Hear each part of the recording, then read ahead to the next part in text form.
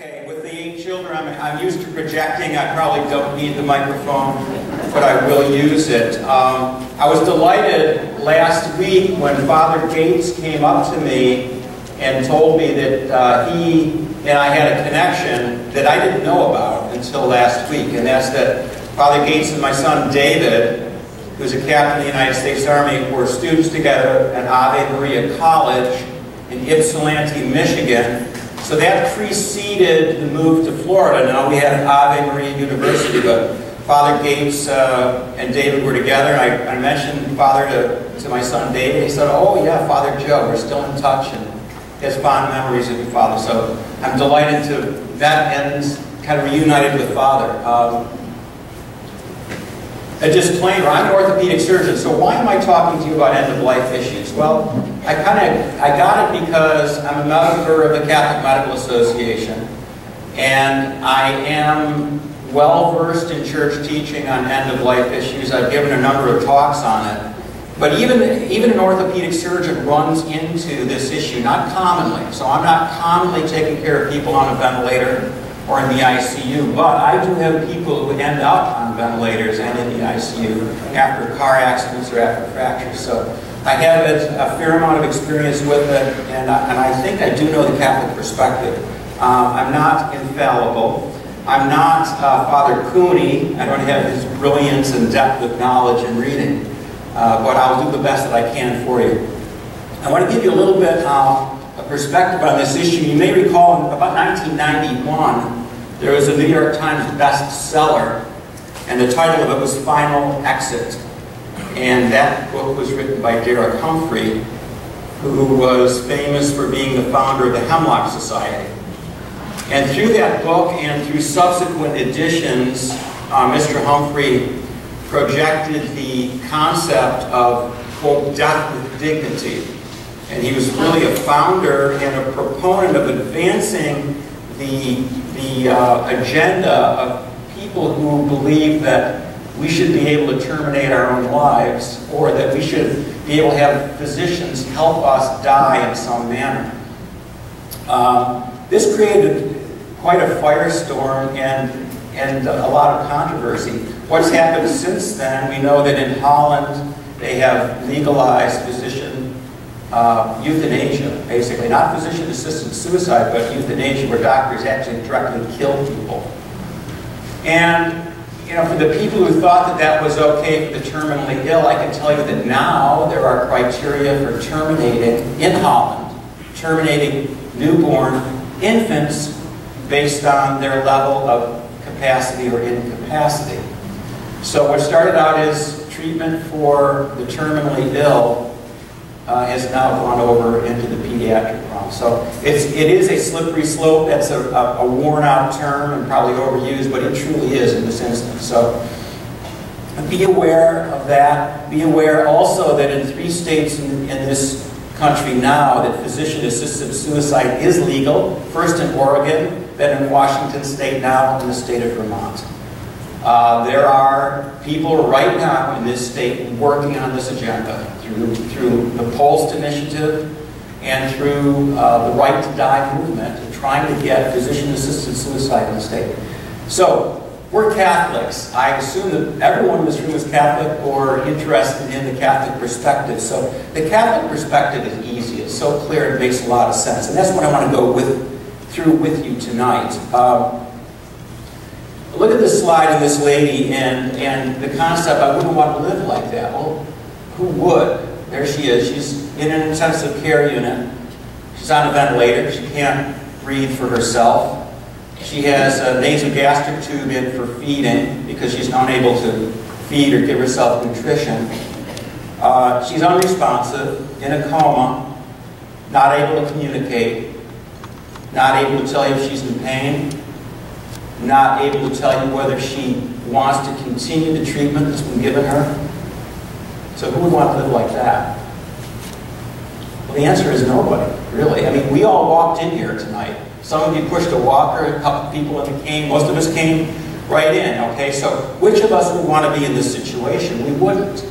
But sometimes, with just a stroke of God's hand, we find ourselves in a situation that's life-threatening. Had an experience myself about 11 years ago, bike accident, two um, a punctured lung, two chest tubes, five broken ribs, and I was sick. And without the chest tubes, I would have died. So I went from being on my bicycle to being deathly injured or near death in injury in a, in a matter of seconds. It can happen. Anyone leaving tonight could be in this. So we wouldn't want to live like that, but sometimes that's the only life that we have. So what's the fear? When we look at this, we say we want to, we don't want to be like that. So what's the fear? It's loss of control, loss of dignity, and the fear of being a prisoner of technology. In a sense, this woman is a prisoner, isn't she? I mean, she's there, she can't interact, she can't intercede, she can't raise her hand and say, I'm feeling this way, I need help. Or she can't even say, I've had enough of this, will you leave me alone? And you may remember the book uh, by Robin Cook Coleman, which people went in for elective surgery and then were anesthetized, kept in, in, in suspended animation while their organs were harvested. Um, I'll tell you, we're not too far from that right now. With some of the brain death criteria that are used are, are sketchy. There are many cases of people have been declared brain dead and scheduled for organ harvest. A family member comes in, pinches their big toe, they stir, and they say, wait, doctor, look. And they say, hey, wait a second. Maybe they're not dead. And they were ready for organ harvest. Do not underestimate the amount of money involved in organ harvesting, okay? So if you sign that declaration you want to give your organs to medical care, beware to make sure that they're following the right criteria, to make sure that you are dead dead before they take your organs. So what's the human response to the fear? We say, hey, wait, this is my life. I'm in this bed. I want to have control over this. So how, how do you exert control when you're not there and you can't speak for yourself? One is through a living will. And that's a document in which you put out as clearly as you can what you do and do not want done at the end of your life. At that moment when you're in the intensive care unit and critically ill.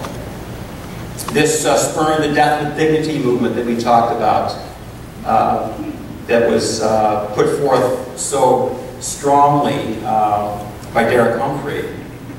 The Hemlock Society, by the way, is now called compassionate care or compassionate friends, depending where you are. So hemlock is a little dark, okay? So now it's compassion.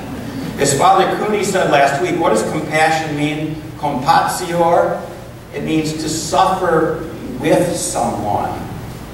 It doesn't mean to come in and eliminate their suffering by eliminating them. It means to come in to hold their hand, to help them, to, to kind of walk that road with them. It's not compassionate to kill someone. Okay? Physician-assisted suicide, which your Isaac mentioned, is in three states, and then euthanasia, which is direct killing of someone, typically by a physician. So that's the human response. What's the Catholic response? First, this is reiteration of what Father Cooney said. Our lives belong to God. So we are the stewards. We're not the owners of our lives. They're not our lives. They've been given us as a gift from God. Like our children. They're not our children. They're God's children. We're their custodians for a period of time. All right? And because of that, we must take reasonable measures to preserve our lives because they're not ours, they're God's. We're the custodians of them. We should preserve them. It says reasonable measures, not unreasonable. Okay? None of the Catholic position is unreasonable. And then the reality that when you talk about the death with dignity movement, the reality that we know that our dignity rests in the reality that we are made in the image and likeness of God. Okay? So every Ash Wednesday, remember we have the ashes and we said, you are dust and unto dust you shall return. So absence the hand of God, we're nothing. We've been created by Him and for Him. And that in, in that our dignity rests not in what we look like or what we're able to do or what we're able to say or accomplish. Those are, those are accidents, those are things that we can accomplish. It has nothing to do with our dignity. Our dignity is because we were made in the image and likeness of God himself. So the Catholic response uh, was, is very well articulated in uh, a document put out by the United States Council of Catholic Bishops. It's now in its fifth edition, and it's called the Ethical and Relig Religious Directives, or ERDS, or the ERDs, as doctors call them, the ERDs, or the ERDs. Um, very well articulated uh, position on Catholic healthcare and the expectations of Catholic healthcare providers, okay? So what is the Catholic position? And this is right from the ERDS, this is from the, uh, from the preamble to it. As the Christ's redemption and saving grace embrace the whole person, especially in his or her illness, suffering, and death. The Catholic healthcare ministry faces the reality of death with the confidence of faith. In the face of death, for many, a time when hope seems lost, the church witnesses to her belief that God has created each person for eternal life. We're all just passing through here. We're all just pilgrims on the way.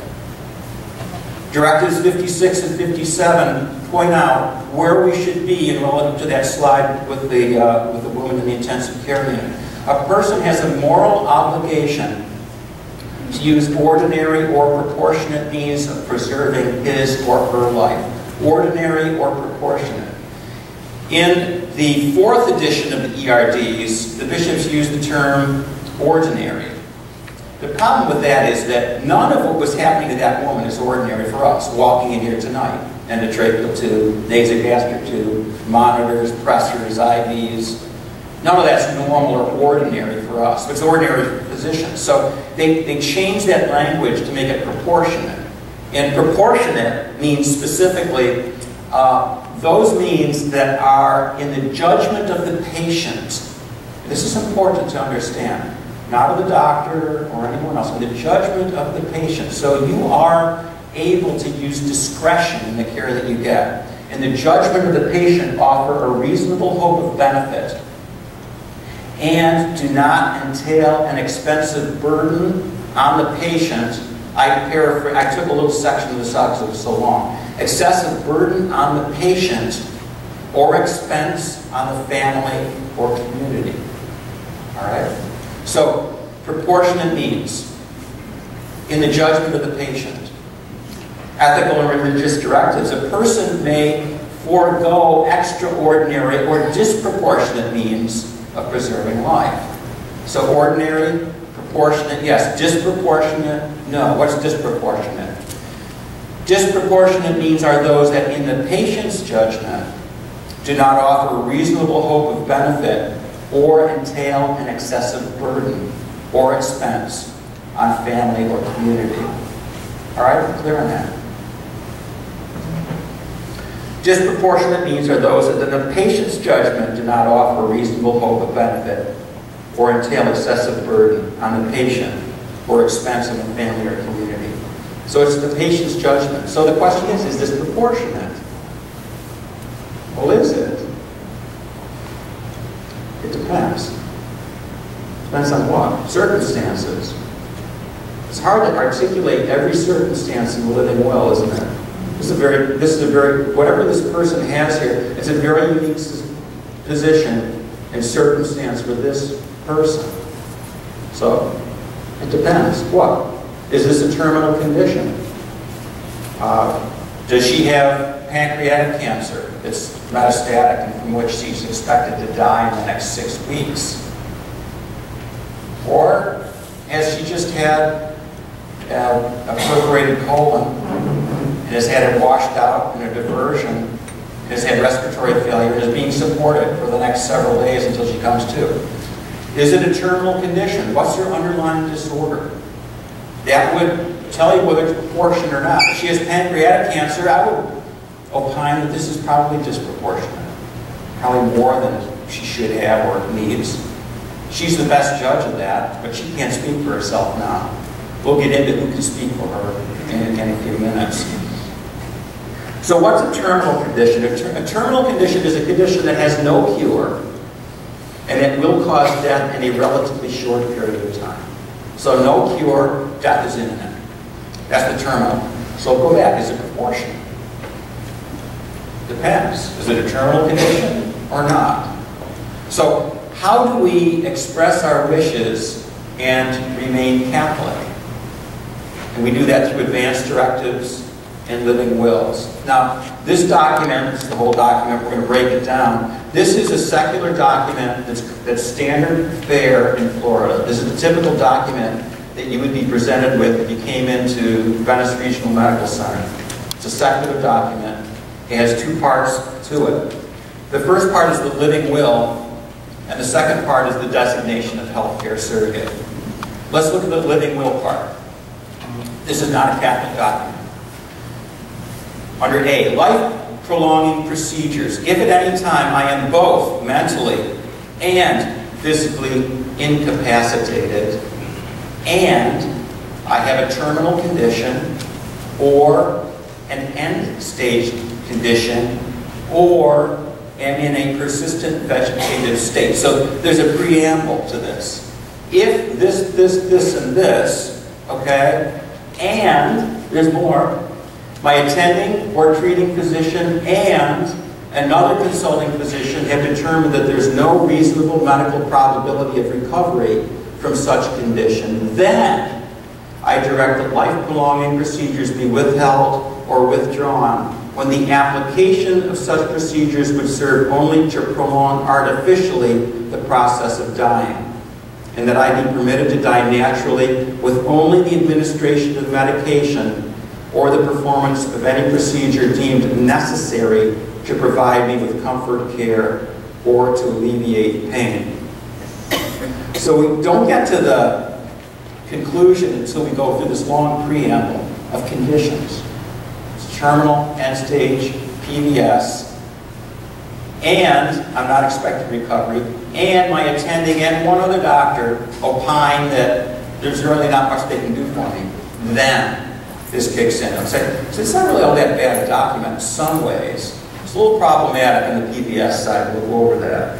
Uh, terminal condition, and this is Florida statute. So this is an actionable document, this legal in Florida. Now we're talking about legality, because once you enter the hospital, the hospital is under Florida statute and federal statute. So a terminal condition in the Florida statute is a condition caused by injury, disease or illness from which there is no reasonable medical probability of recovery and which without treatment can be expected to cause death. All right, so that's under Florida statute. It's a little bit problematic. Um, several years ago, I, I shared a table with uh, Victoria Flug, now Victoria Urquiaga, married to Dr. Urquiaga. Uh, Victoria was the, the, the, the, attorney for the diocese, and she was given the legal side, and I was given the medical side, and I pointed this out to her, I said, well, this is really pretty watertight. She said, oh no, actually, because it says that a terminal condition under the statute is any condition which without treatment can be expected to cause death. Any condition. That could be appendicitis. Think about it. So if somebody wants to push this, if a, a, family member says, hey, dad has a living will, um, I want you to take him off the ventilator, I say, is not an internal condition. Under the statute, actually, you could argue that it does. There's any condition that without treatment could potentially cause death. And Victoria illuminated, you know, educated me on that, on that fact that day. Now, what's an end-stage condition? Florida statute again.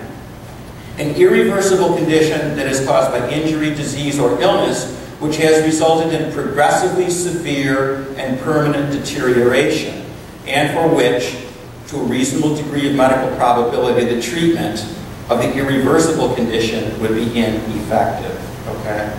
So that's an end-stage condition. Progressively severe, permanent deterioration. That could be Parkinson's disease. My wife, I don't know if you know, my wife has Parkinson's disease. Thank God she's doing well on minimal medications.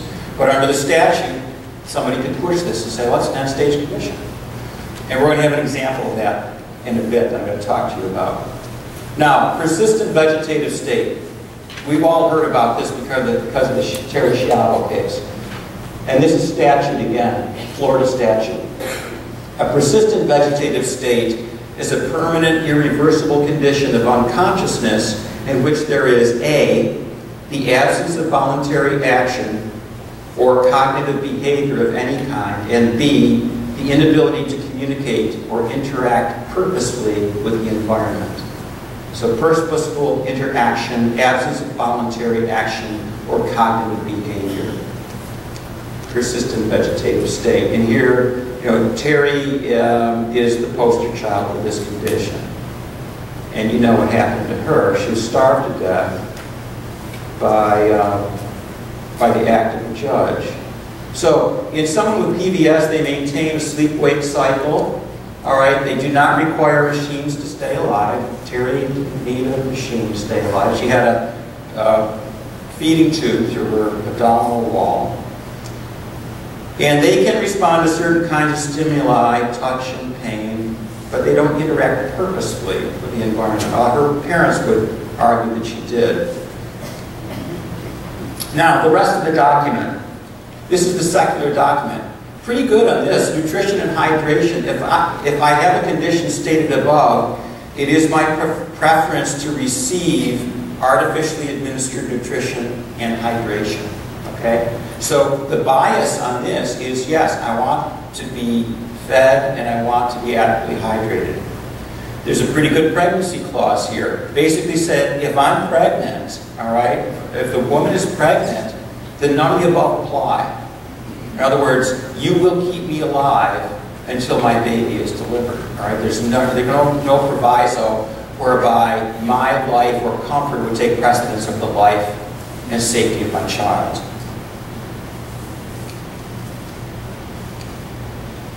The second part of the document is the designation of healthcare surrogate. So first is a living will, and then the healthcare surrogate. In the event that I've been determined to be incapacitated to provide informed consent for medical treatment and surgical and diagnostic procedures I wish to designate as my surrogate for healthcare decisions, fill in the blank. Okay, so someone could speak in your behalf. My surrogate must act consistently with my desires as stated in this document or otherwise made known. Michael Schiavo argued that Terri had privately told him if she were in this condition she would want to live. That was his argument. Okay? So the surrogate must act consistently with wishes. In the document, she didn't have a living will, or is otherwise made known. So he said, by private conversation, she told me this, and hence I'm going to act on that. Okay? That's the secular document. Let's go over the Catholic document.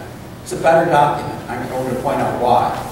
Uh, the Catholic Declaration on Life and Death was approved by the bishops of Florida and it's, uh, it's entitled The Catholic Declaration on Life and Death. We have multiple copies. I want everyone please to take a copy home with you tonight to look at. It's a good preamble, good discussion on the Catholic principles, and then a good document. Um, and it starts out, I believe that I've been created for eternal life in union with God. The truth that my life is a precious gift from God has profound implications for the question of stewardship over my life. Again, it's stewardship, not ownership. It's not my life, it's God's life, but God has allowed me to be the steward of it. I have a duty to preserve my life and to use it for God's glory. But the duty to preserve my life is not absolute. For I may reject life-prolonging procedures that are insufficiently beneficial or excessively burdensome. So the bishops in this document have given you great latitude in the treatment that you may choose to receive. It ultimately comes to you. All right, there's no, there's no mandatory element. Keep in mind the principle that we're stewards and we are to do, take reasonable measures measures to preserve our lives. In the document, suicide and euthanasia are never morally acceptable options. Next week there's going to be a video, I believe, on euthanasia, so please come to hear that and and the reasons why we reject that. They're never morally acceptable.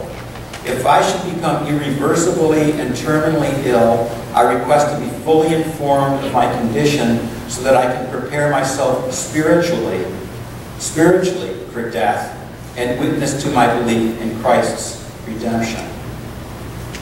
So, the Catholic Declaration says if there's a terminal condition or an end stage condition, it takes out the PVS. Persistent vegetative state is, does not fall into any, any of these categories because it's not a progressive end stage condition. It's not progressively deteriorating. It's not a terminal illness. It's what it is. That person is where he or she is. They're sort of stuck there. They're not interacting. They can't voice you know, reason they cannot interact with their environment. But they don't fall into any, any, any of the categories by which you would say we're going to stop treatment here. All right, so if terminal or end stage condition, I would be provided with care and comfort, that my pain is relieved, that no excessively burdensome or disproportionate means be used to prolong my life. And there should be a presumption in favor of providing nutrition and hydration, including medically assisted nutrition and hydration, unless they cannot reasonably be expected to prolong my life, or the means used to deliver the nutrition and hydration are excessively burdensome and do not offer sufficient benefit, or would cause me significant physical discomfort, or I'm imminently dying from an irreversible condition. So again, the, the bias is towards nutrition and hydration unless it's either not working or it's causing further complications and discomfort or I'm terminally ill. So back to Terri Schiavo, okay, the PVS. The bishops took the PVS option out of this, okay? Persistent vegetative state, we covered that. Uh, sorry, back up. One of the problems with that term is vegetative. You think of turnips and things like that that aren't human, right? So, and this is a quote from, or a position from the National Catholic Bioethics Center. And quote, the term vegetative does not mean that the person has become less than human, but rather has lost the sort of awareness that characterizes normal adult human life. So it's still, a human being I remember during the Terri Schiavo controversy, um, while she was still alive, I got into an argument with a couple of uh, physicians on this issue. One of them said she's a vegetable, which she's not. I argue, but she's not a vegetable, she's a human being. Well, she can't interact. The second one said she's brain dead. But she clearly wasn't brain dead. Right? She had cortical dysfunction and couldn't interact, but she was not brain dead. We'll go into the brain death definition right now. Brain death is irreversible unconsciousness with complete loss of brain functions, including the brain stem, although the heartbeat may continue. The brain stem uh, controls respiration, blood pressure, heart rate, and a lot of other autonomic functions that are going on inside you and me right now out of our control. Thank God that they're not in our control because I'd probably forget to do them. But there's a lot going on in us that's beyond our control, okay? So um, brain death involves death not only the cortex, so Terri Schiavo had severe cortical disruption. She couldn't think, interact, as far as we know. But her vital signs were fine. Her respirations were normal. She wasn't on a ventilator. She didn't require any machinery at all, okay? So don't get confused brain death versus persistent vegetative state. Brain death should be understood as the ultimate clinical expression of a brain catastrophe characterized by a complete and irreversible, irreversible neurologic stoppage, recognized by irreversible coma, absent brainstem reflexes, and apnea. Apnea means the inability to breathe. Okay? And the the Catholic Church does recognize brain death as a legitimate criterion for death of the whole person. I will just tell you, there's a lot of discussion in the Catholic Medical Association about it. Um, Blessed John Paul II came up pretty clearly on this issue. He didn't talk about the science, he talked about the philosophy behind it, of the brain being the organizing principle of the human person.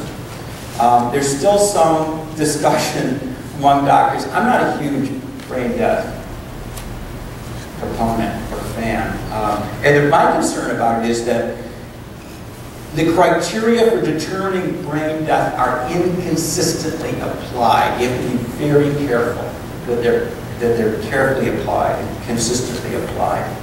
So.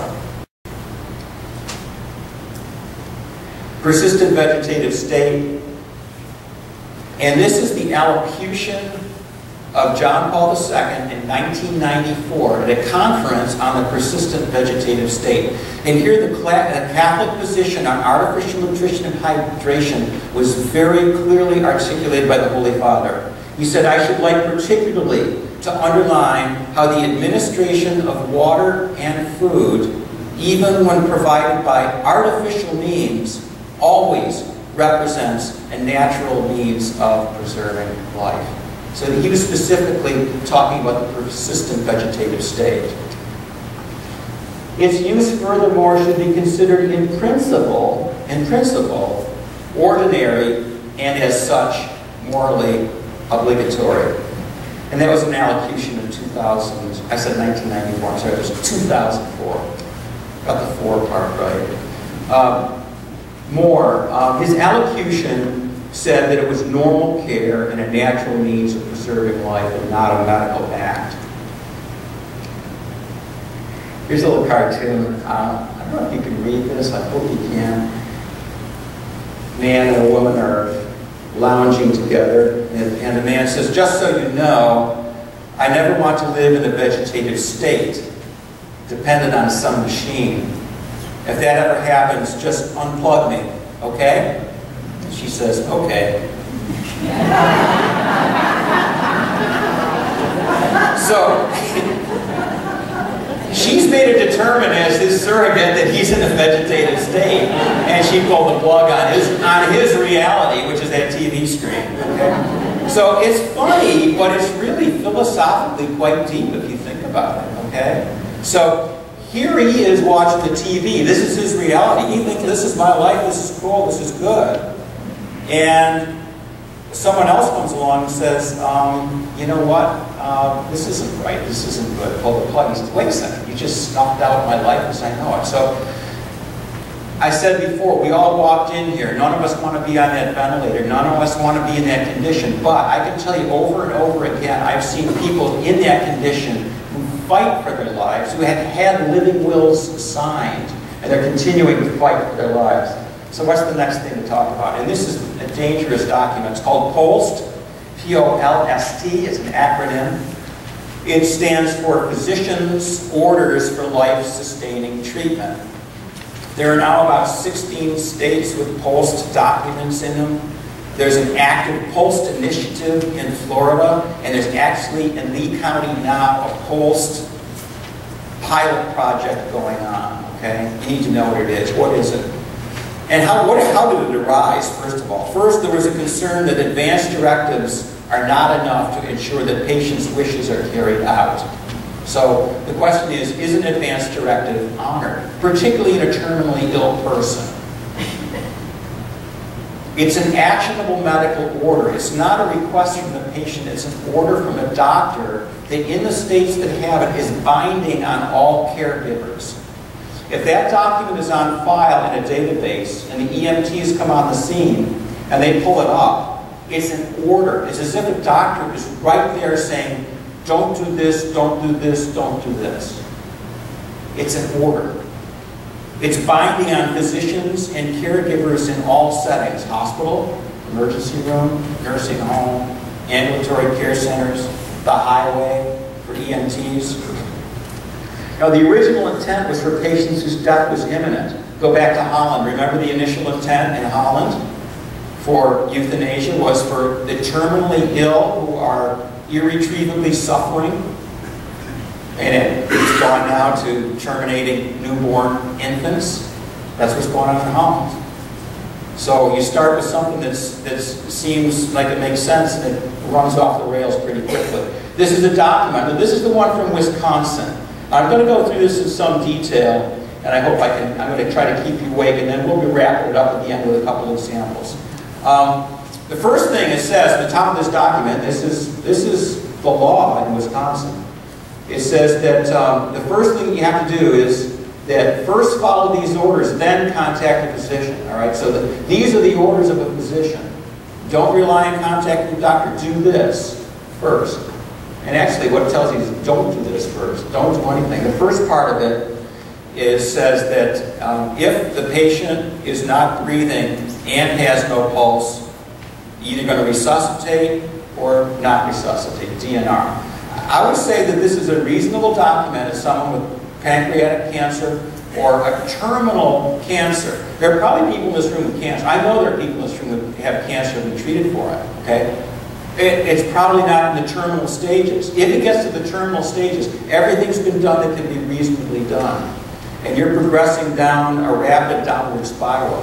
And you've had the opportunity to receive the sacraments and get right with God and neighbor, and you're ready to go. That's a reasonable thing to do. To say, you know what? I don't want anybody jumping on my chest and hitting me with paddles. I'm ready to go because God's taking me out, okay? So that's reasonable. Section B, though, says, it says that, all right, now, um, if I have a pulse or I'm breathing, then you can do this, this, and this, comfort measures only. Um, I could be at the restaurant down here talking to Colleen with my mouth full, like, like, like a inhale a piece of meat, and, and end up with a respiratory arrest and still have a pulse at the point. Is it, should I be just kind of left there like that? I don't think so. I, I would want to make sure I have treatment. But the options are comfort measures, limited interventions, comfort measures only because they're not going to do much at all for me. I'm just going to die at the restaurant. Or look at the third thing. It's called aggressive treatment. Aggressive. Look at the language. Aggressive treatment. So airway management, taking the piece of meat, doing a Heimlich, clearing my airway, that's aggressive treatment? I don't think so. But the language is, why not call it just full treatment? Or complete medical treatment? What's aggressive? Aggressive sounds like, whoa, we're really doing something big here. That's ordinary treatment. It shouldn't be called aggressive. Again, under antibiotics. No antibiotics except for comfort. No invasive antibiotics, IV or IM. So you can give the oral antibiotics, assuming can swallow. Or the last is aggressive treatment. So they call intravenous antibiotics or intramuscular antibiotics aggressive. Why call it aggressive? Why not call it full treatment? So there's bias built into this document. It gets worse. The next is pretty good. Artificially administered uh, fluids and nutrition you know, whether they have a feeding tube or not. Remember the Catholic principles on this, though, that, that nutrition and hydration should be considered ordinary, all right, and, and proportionate, unless you're terminally ill, unless you're imminently dying. This is the worst part, all right, section E. Look at the bottom. It says, signature of physician or nurse practitioner, mandatory. Physician name, print, time of day signed. Do you see anything for the patient on there? No. There is no place on the form for the patient to acknowledge that they've been informed of what's on the piece of paper, that they concur with it, and that those are, in fact, their wishes. So this is a physician's order. They could apply to you or me on file in the state of Wisconsin because it's a big database signed by a doctor or a nurse practitioner, that's mandatory. It hasn't been signed by me. This violates every principle of informed consent. If you come to me and you have a minor problem uh, in your hand or your foot, and I recommend a minor procedure as an outpatient, we don't to document this long, a lot of fine print. Doctors told me this, this, this, this, this. I agree, I concur to do, to do for nothing, okay? This document allows a physician or nurse practitioner put an actionable medical order that binds all people in the state of Wisconsin, doctors, nurses, and practitioners, and if it's there and on file, and you haven't signed it, and you code, they can't resuscitate you. It's a crazy thing. It gets worse. Well, here's the basic. It annuls the requirement that the patient must be terminally ill. So there's no preamble necessarily. It doesn't say in the event that I blah, blah, blah, blah. No, it doesn't matter. It says, this is where I am. It advocates the Catholic sense of proportionate and disproportionate treatment. There's no discussion of that at all. It's just whatever's, whatever checked in the box, they're going to do. What isn't, they won't do. Complex situations are reduced to check boxes. Forms are completed before the patient knows the extent of their illness or the treatment options. And depending on the state, that's this Wisconsin. In Oregon, it's optional. Patient signature, optional. Okay, I would think I'd want mandatory if it's, if I'm, thank you, if I'm in Oregon, all right? Uh, it violates physician autonomy. If I'm the receiving physician in the ER, a person comes in with this, they, and I'm ready to go and take care of them, they say, no, you can't do anything. So why are they here? And I'm just going to sit here and watch this person die? I don't think that's fair to the doctor. I already covered that. Nurse practitioner to sign it. Not even a doctor. Not, it's not by a doctor, just a nurse practitioner. Not to belittle nurse practitioners, but that's a lot of power for someone to have. Biased language, aggressive treatment instead of complete treatment. Pulse but no breathing can equal no treatment. Here's a case report, and I, I want you to run this by you. The case concerns Emily Daron, who lived with brain cancer for most of her young life. As she approached her final months, her parents met with her oncologist, her neurosurgeon, and a medical ethicist to discuss Emily's care in light of her rapid decline. Together, they completed a physician order for life-sustaining treatment, which documented her parents' decisions, her parents' decisions, I don't, I don't know if Emily could participate, but parents' decisions and official physician instructions. Now, several weeks after completion of the POLST form, Emily's parents found her unconscious in bed. They rushed her, rushed her to the nearby emergency room affiliated with Kaiser, Emily's provider. They told the staff about her POLST, which included the order do not intubate. They did not want Emily to endure any painful invasive procedures in her final days. Follow the language the emergency physician failed to honor the order and, quote, forced, end quote, a breathing tube down Emily's throat. He intubated her. I don't know if that's forcing a tube. He put it in, she's not breathing. She endured the presence of the tube until she was transferred to another Kaiser facility where doctors withdrew it and allowed Emily to die. Okay, so the obvious question is, to me, and this, if that was the decision the parents had made, why did they rush her to the hospital? Why not have understanding that Emily's not going to go to the hospital if Emily's ready to die?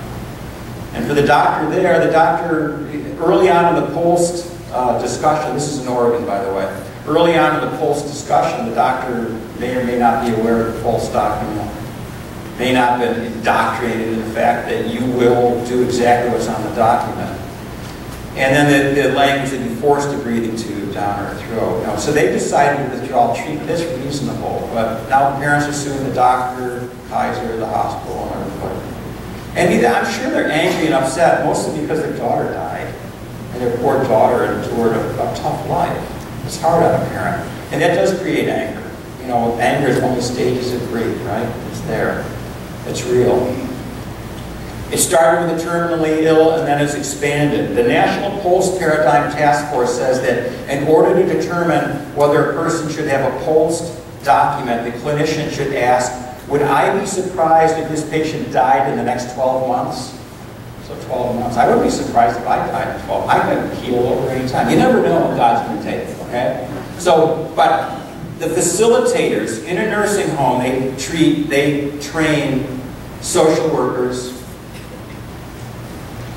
they treat, uh, they train ministers, they train um, chaplains to have these discussions and have people sign, sign, fill out the documents, they're not signed, and then a doctor signs it, okay? Would I be surprised if this person died in 12 months? It gets worse, okay? In New Jersey, the state recommends that doctors and nurses complete the form and all patients who have a life expectancy of fewer than five years. So again, slippery slope. Terminally ill, one year, five years, who's next? All right, so these are the people, the people who are, the language they use is very problematic too. There's seven objections in, in, from the NCBC on this. And I'm going to go, I already said this, and time's moving on. Um, this is from the script in Wisconsin for the facilitator, the non-doctor, facilitator is talking to the nursing home patient.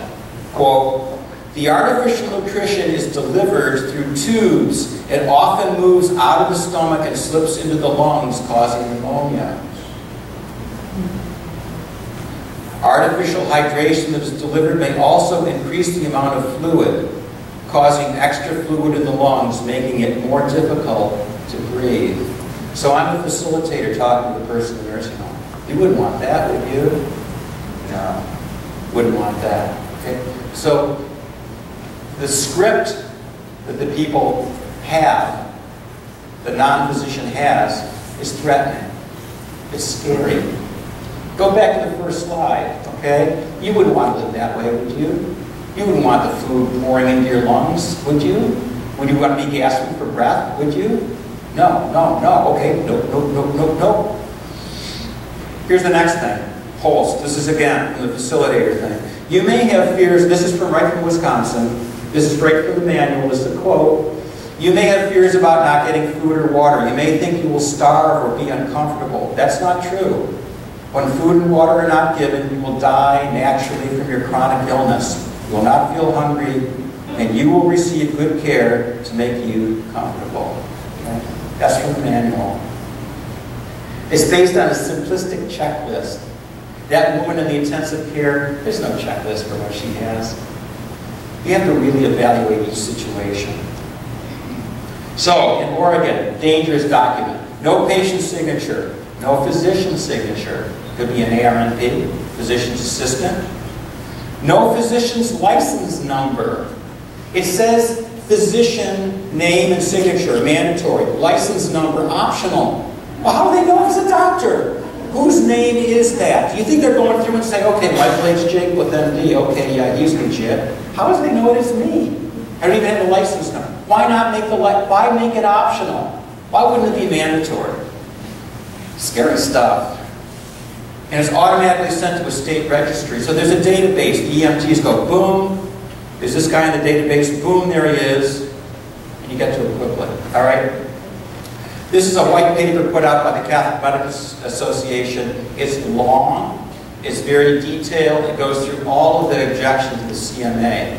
I want to point out a couple names on here. One is Peter Morrow. Peter is in Orlando and he'll be the incoming president of the Catholic Medical Association at the meeting that I'm going to attend in Santa Barbara next week. The other is Rita Marker, who is very famous for her refutation of Derek Humphry's book. Humphry read final, read, uh, wrote Final Exit. Rita Marker wrote the book Deadly Compassion. And she refutes most of what Humphry says Rita befriended Humphry's wife, Anne, who was dying of breast cancer, in her later days and supported her as Humphry continued to pressure Anne to die. It's an ugly story. And uh, Rita Marker is speaking tomorrow night in Fort Myers. I'm going to go down and listen to her speak. You're listening to an amateur. She's an expert. If you want details on that talk, I'll give it to you. But tomorrow uh, night in Fort Myers, she's speaking. National nationally recognized expert on euthanasia. Started the Anti-Euthanasia Task Force a number of years ago in Steubenville, Ohio. An amazing lady. Right, I'm going to give you a couple cases and I'm going to let you, let you rest. Here's a case, all right? These are real cases. You be the doctor. You tell me what you ought to do here. 74-year-old healthy man is scheduled for a hip replacement surgery. Three days prior to the surgery, he tells the surgeon that he is, quote, DNR, end quote, do not resuscitate, and does not want to be resuscitated. What did the doctor do?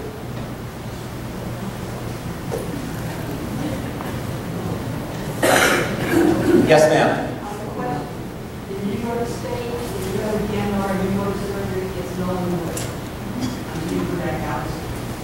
you're doing? Um, it depends on the, yes, because in order for you to have a surgery, all right, it depends on the surgery, okay? But that's not necessarily the case. It's not necessarily the case in Florida, all right?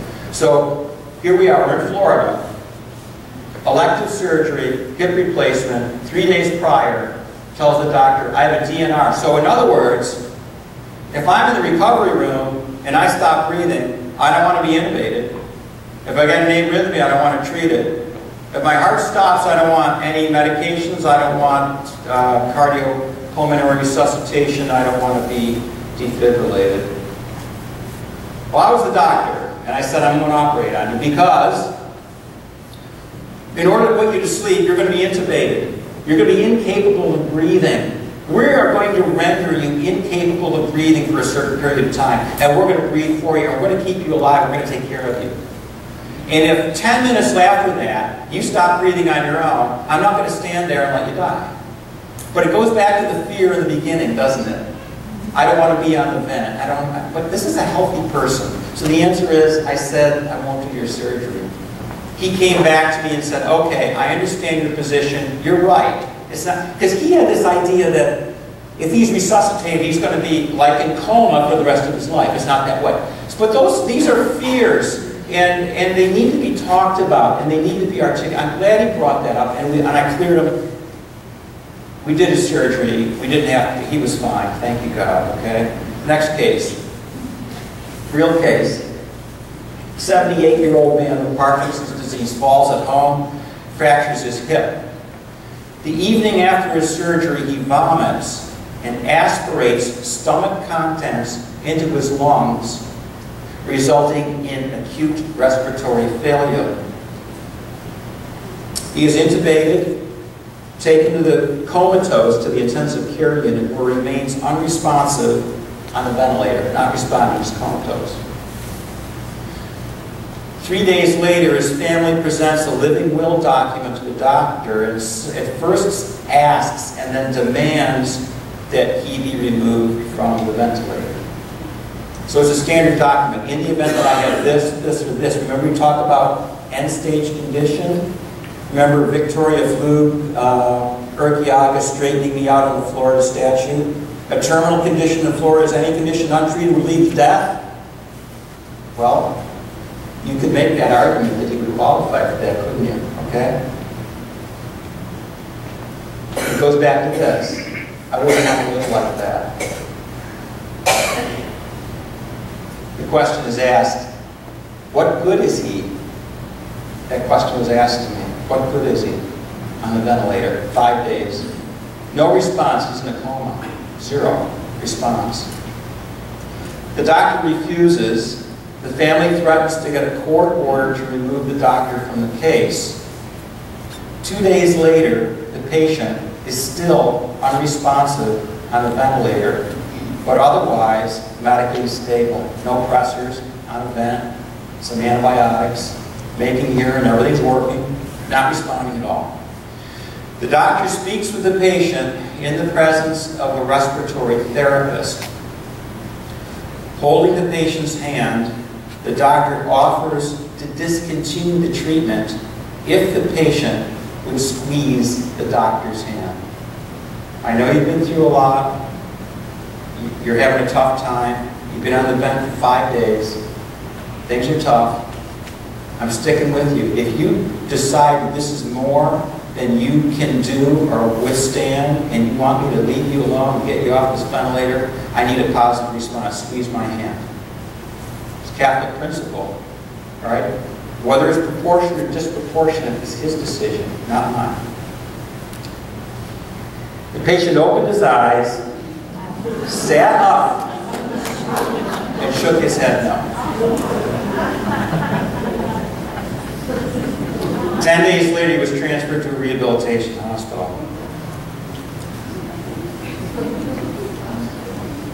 Who would want to live like that?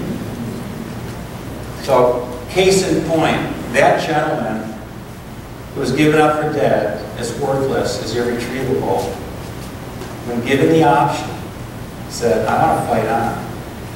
And he prevailed, okay?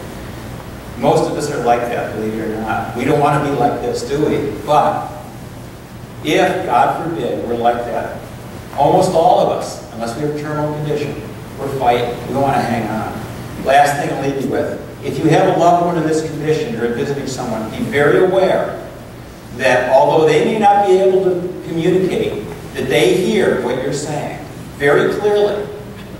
And when they come out of the coma and out of this situation, be careful of what you say. No, but speak respectfully and, and carefully and lovingly and talk to them. Go in and talk to this lady. Hold her hand, say we're here. They can hear a lot more than you can think, and that support's really important to them. So here's the to-do list. First, pray for the gift of dying in the state of grace. Read the ERDs. Complete the Catholic Declaration on Life and Death. Appoint a Catholic healthcare surrogate. And do what you can to oppose this POLST legislation in Florida. Uh, the, the bishops, uh, Bishop Dewane was talking to me just a few weeks ago. The, the USCCB is meeting to talk about this POLST initiative at the national level, and the, the Florida bishops are as well. They have a position on it. These are some of the resources. They're in the handout. There's some really good ones. The diocese has an awesome website, by the way. Hit the website. Look at the different ministries that are there. NCBC Center, CathMed.org is the CMA, Catholic Medical Association website. And that's got other questions.